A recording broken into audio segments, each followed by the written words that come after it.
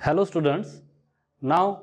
in geometrical construction we learn the second property which depends upon the perpendicular bisectors of the sides of triangle. म्हणजे आता आपल्याला दुसरा गुणधर्म अभ्यासायचा आहे जो की त्रिकोणाच्या बाजूवर लंबदुभाजक जे काढलेले आहेत त्या लंबदुभाजकांच्या बाबतीतला हा गुणधर्म आपल्याला अभ्यासायचा आहे so that's why with the help of the ruler firstly draw and acute angle triangle and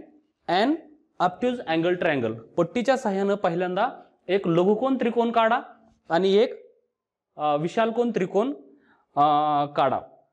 त्यानंतर each triangle that means this acute angle triangle and obtuse angle triangle म्हणजे लघुकोन त्रिकोणाच्या आणि विशालकोन त्रिकोणाच्या तीनही बाजू तुम्हाला दुभागायच्या आहेत that means the acute angle triangle sides of acute angle triangle and sides of obtuse angle triangles will be bisecting with the help of the compass and ruler after that each triangle uh, here triangle have the three uh, sides and these three uh, side bisectors of the uh, perpendicular bisectors of the sides so uh, when we see in the figure in the acute angle triangle the uh, intersection point of the three bisectors are in the inside of the triangle. The point of concurrence is inside and that is uh, that name is c. So why c? Because the when we per, uh, bisect the sides of the triangle the point of concurrence is in the triangle in the acute angle triangle but in the obtuse angle triangle the point of concurrence is outside of the triangle म्हणजे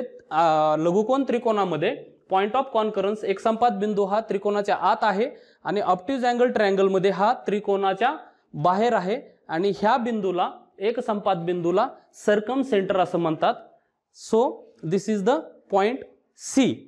नाव the main property that from that point C in the acute triangle and in the obtuse angle triangle, the distance between Cx, the vertex of the triangle, that means Cx, Cy and Cz is the same and or in a equal measure. In the obtuse angle triangle, there is also the concurrence point C, that C, uh, from that C, the distance of, uh, distance between Cx, Cy and Cz is the equal in a measure म्हणजे गुणधर्म असा आहे की जो concurrence point आहे त्या concurrence पॉईंटपासून त्रिकोणाच्या शिरोबिंदूपर्यंत जे अंतर असतं ते अंतर